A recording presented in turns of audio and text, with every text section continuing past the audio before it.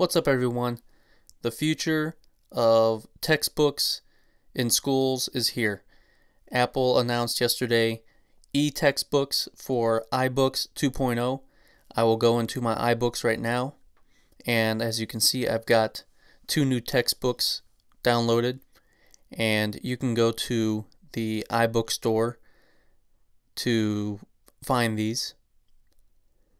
So I'll load the library right now and I'll select introducing textbooks.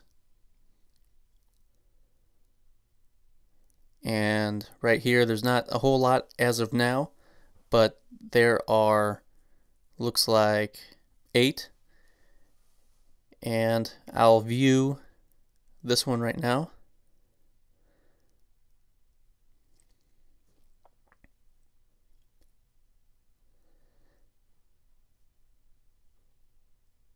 and this one is Life on Earth. And as you can see down in this area, these file sizes are pretty big and it has a whole lot of content. It has awesome high quality pictures, video, all in the future of textbooks. So you don't have to carry around these massive textbooks anymore. So let's go to this new textbook here. And this one is much bigger. This one is 2.77 gigabytes, but it has a whole lot of content in this textbook. And it sure beats carrying around a $100 textbook and you can get them for 15 bucks. So let's go into a textbook right here. This one is just a sample. It's only one chapter and it opens up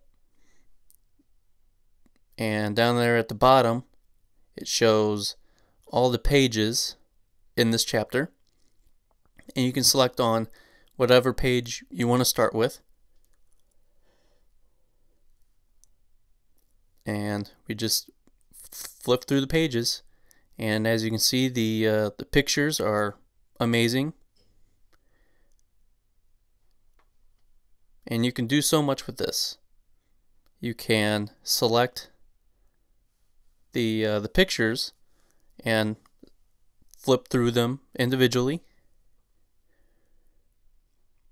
You can also go to the uh, the text and you can highlight whatever text you want. So you just hold your finger down and swipe down the page. And then once you've got it highlighted, you select it again, you can change the color. You can also add a note, which comes in handy towards the end of this video.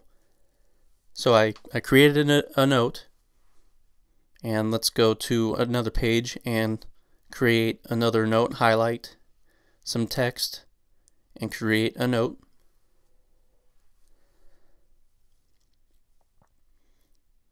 Now those are selected and you can keep browsing and also you see there are videos in the pages also.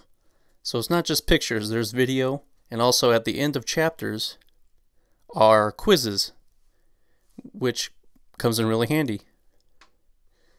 Now let's go back to those notes. In the upper left you'll see your your little cards and you can select it and those are the highlighted sections.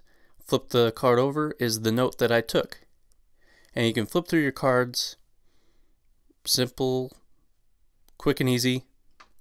Very nice looking page. And uh, here in the settings you can turn shuffle on, which comes in handy with a whole lot of notes. Really, really nice way to uh, study for any kind of quiz. And with these notes, you can select the arrow in the upper right and you can select the notes that you might want to email. In this case, I'm just going to delete the notes. So this is a, a pretty cool, interesting way to uh, to not carry around massive books. And also here's some more settings. You can search the pages for a specific word. You can bookmark pages and you can uh, turn down the brightness. So, just curious, let me know down in the comments down below what you think of these future textbooks. You think it will catch on? You think Apple will be the main uh, attraction with these uh, ebooks, e textbooks? And also let you know these textbooks are iPad only.